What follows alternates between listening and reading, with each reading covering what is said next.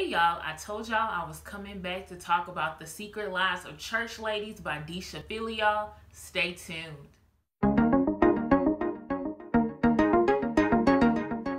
Welcome back to Books with Kimberly. Don't forget to like, comment, share, and subscribe to my channel. Y'all, I am so excited to talk about The Secret Lives of Church Ladies by Deesha Philyaw. So let's get right into it.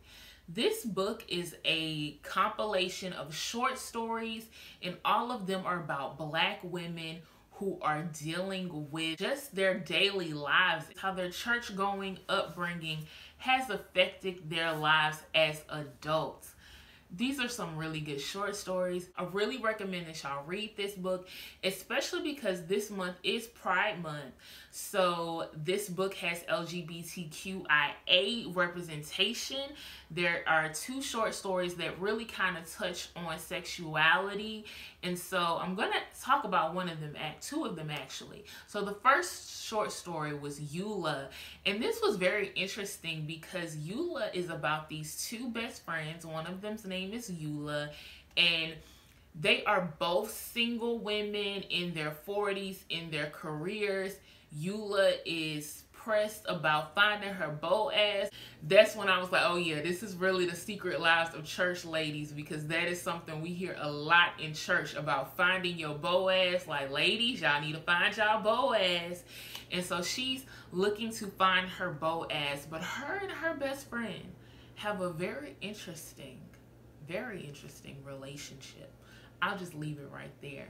Another one of the short stories is called Peach Cobbler, which I thought was very interesting, honey. And it had all the messiness that Kimberly loves, honey.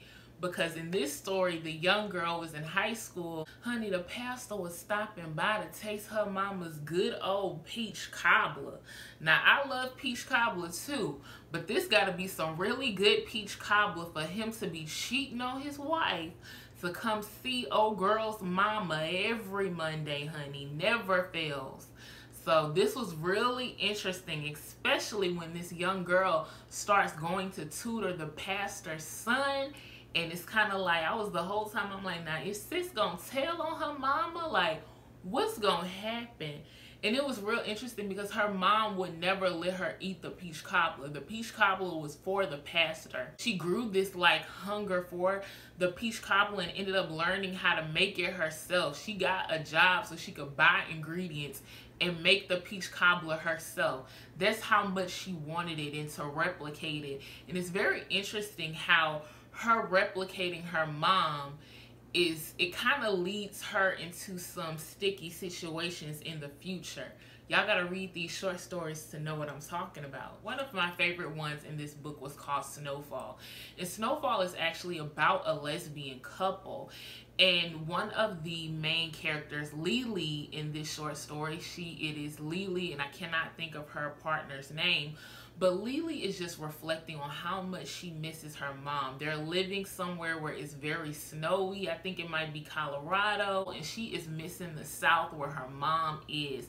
And so she just starts reflecting on how much she misses her mom, her grandma, those southern aunties, and how she missed going to her grandma's house and sitting on her grandmama's bed and watching TV, how much she misses eating fried chicken with her family and pound cake watching her grandma make um, banana pudding. And y'all, this story kind of got to me because it really brought out a lot of those memories that I kind of had pushed away because when the elders of your family, especially especially those elder women in your family pass away, you kind of forget about those childhood memories and Oh, I used to love going to my grandmother's house and my mom and my aunts would cook for her and we would eat with my grandma and do her hair and we would watch Texas um, we would watch Walker, Texas Ranger, and Touched by an Angel, and my grandma would just be smiling, having her family around her, and even my great aunt Lorraine. It was so special watching her make cakes and ice cakes in her kitchen, and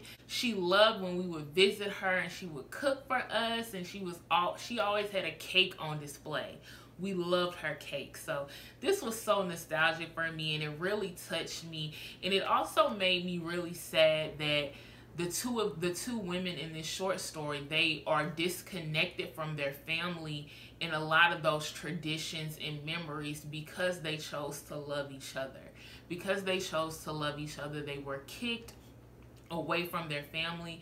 And now this girl she was once a mama's girl like i am now. She's no longer her and her mom have a very strained relationship and they keep it very cute and cordial. So that story was very interesting. The last story that i'm going to talk about was my favorite one y'all and it was how to make love to a physicist. This was the this short story gave me all the romantic feels that i needed and it was so cute because sis met this fine man at like some kind of conference she was at. And at the conference, she finds out he's a physicist. She's an art teacher. They both work with kids.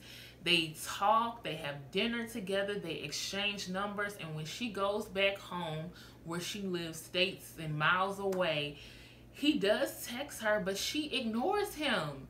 And like the whole time is just going through how She's ignoring his texts. I mean, she goes the whole summer ignoring his text messages and she's talking to her therapist about this feeling of this being too good to be true. Like he couldn't possibly want me. But through her therapy, through talking through her childhood, she starts to let him back in, but then she closes the door again but then she opens the door and he's right there again. It was just really cute and I really related to it because sometimes you do be scared. You be like, this is too, with anything in life, you be like, this is just too scary. Like, I can't do this. Like, this is too good to be true. Really doubting yourself.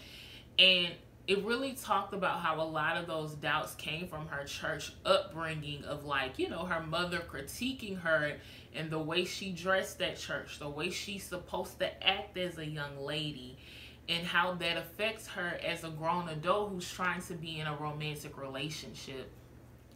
So I really enjoyed this story. I enjoyed all of them. They were so interesting. And if any of you have read this book, let me know which one was your favorite. Thank you again for tuning in to another Books with Kimberly video.